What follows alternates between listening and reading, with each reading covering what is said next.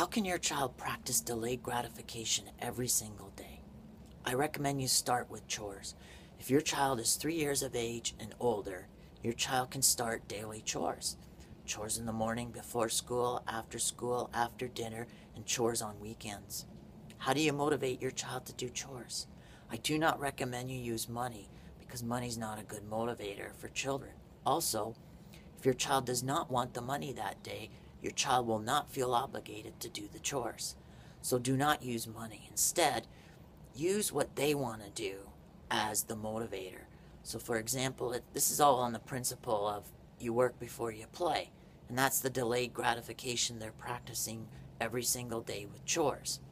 So, if the work's not done, the play doesn't happen.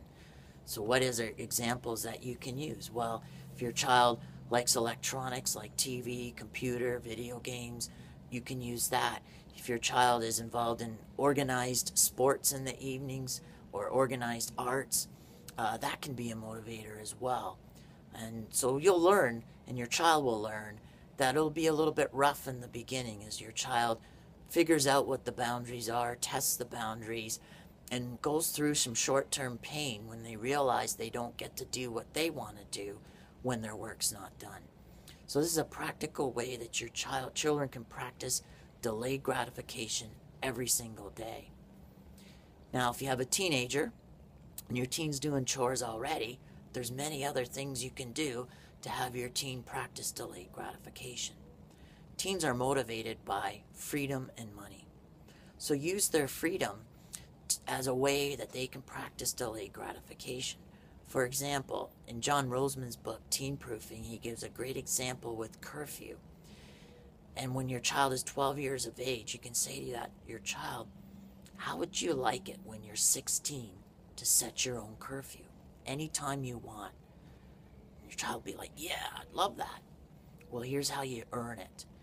Starting at age 12, on Friday and Saturday nights, you have a 9 p.m. curfew. If you come home before 901, for six months straight, I will move your curfew to 9:30. But if you come home for five months before 9:01 and have one slip up, come home at 9:02, then the six months starts over again.